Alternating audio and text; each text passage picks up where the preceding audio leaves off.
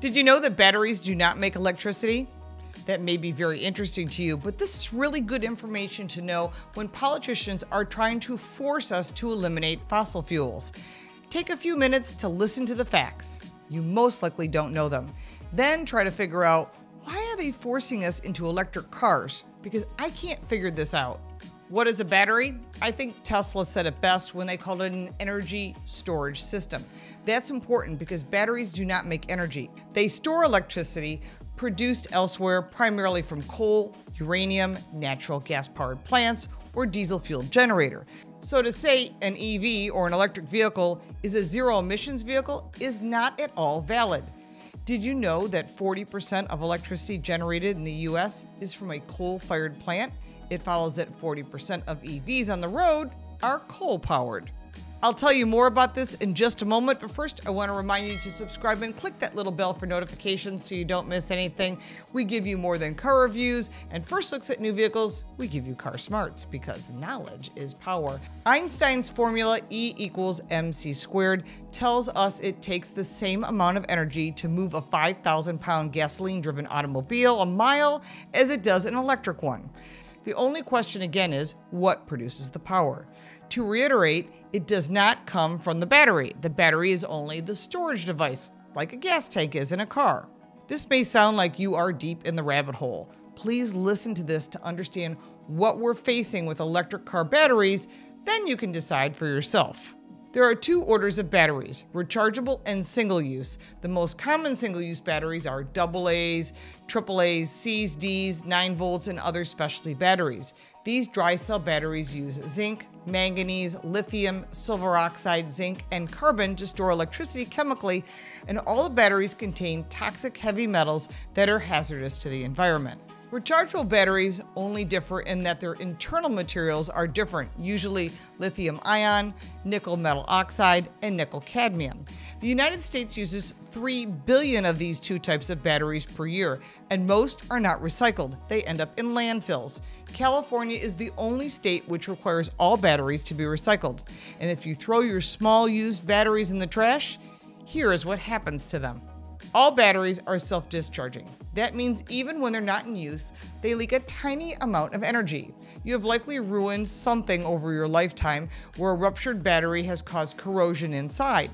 And when a battery runs down and can no longer power a toy or a remote control or a flashlight, most people say that battery is dead.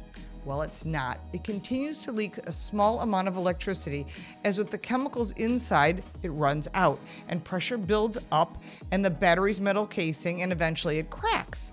And the metals left inside then ooze out. That ooze has ruined a flashlight. It is toxic, and so that ooze will inevitably leak into every battery that's in a landfill. And all batteries eventually rupture, it just takes rechargeable batteries longer to end up in that landfill. In addition to dry cell batteries, there's also wet cell ones. They're used in automobiles, boats, and motorcycles. The good thing about these types of batteries is that 90% of them are recycled. But that's not the half of it. For those of us excited about electric cars and the green revolution, I wanted to take a closer look at batteries, windmills, and solar panels. These three technologies share what the industry calls environmentally destructive embedded costs. Everything manufactured has two costs associated with it embedded costs and operating costs. And I'll explain embedded costs so that you can understand why electric vehicles may not make sense.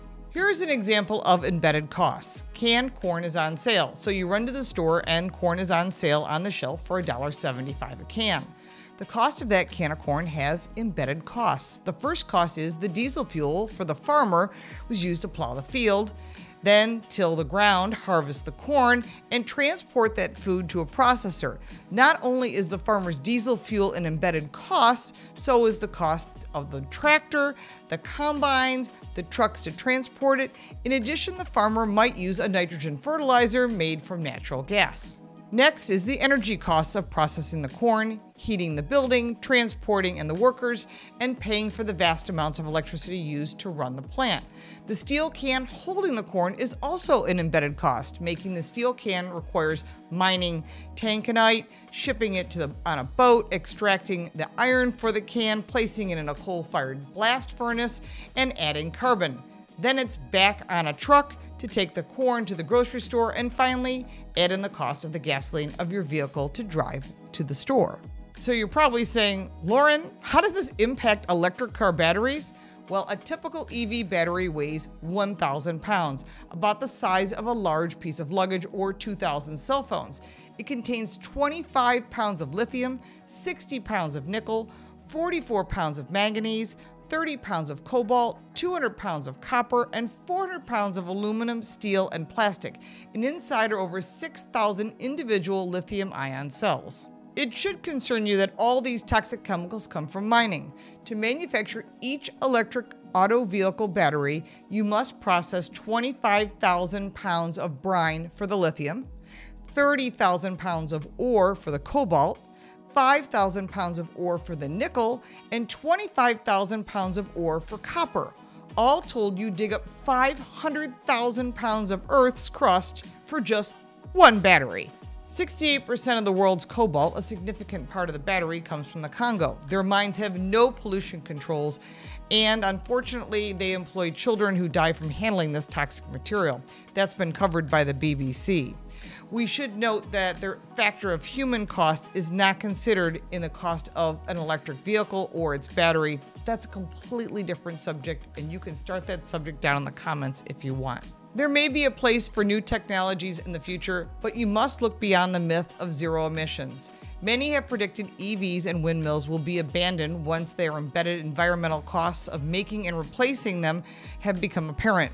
Going green may sound like an ideal solution, and the surface it is, and can create followers with catchy buzz phrases. But when you look into the hidden and embedded costs realistically and with an open mind, you can see that going green is more destructive to the Earth's environment than meets the eye, for sure. If this segment had been titled The Embedded Costs of Going Green, you probably wouldn't have listened to this at all. There is so much more to discuss. Put that down in the comments below and let's start the conversation. If you like this video, give it a like and subscribe for more videos like this one. If you have any questions or comments, I'll be happy to answer them. You can support me by buying me a cup of coffee. The link for that is down in the description, plus all the links for our website, social media, book, and podcast. I'm Lauren Fix. Thank you so much for watching.